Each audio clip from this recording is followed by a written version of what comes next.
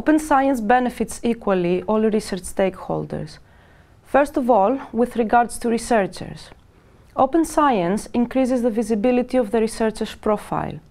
Studies have concluded that open access content attracts higher citations than content behind access barriers. In addition, the open provision of research data and lab notebooks increases the active participation of the research community and speeds up the dissemination and conduction of new research. Now, by combining and linking all the research outputs together, researchers can create a complete profile of their work, which is not limited to peer-reviewed research publications only, but extends to the rest of the research-related components. That way, researchers can create a strong case not only about the research impact of their work, but also of the societal impact.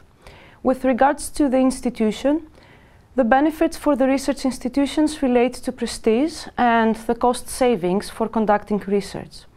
Um, with regards to the first, institutions that promote a strong open access agenda not only gain the funders' attention, but they can also act as a good example and a lead institution among other institutions that haven't adopted the implementation of an open science strategy.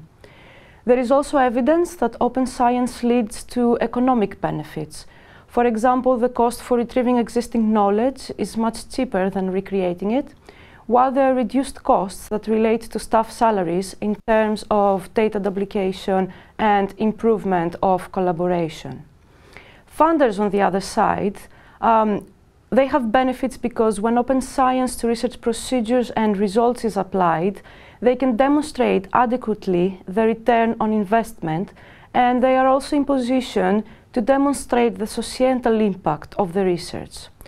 Uh, the benefits for the public is that the public gains access to important and useful publicly funded research that can be applied to improve their quality of life.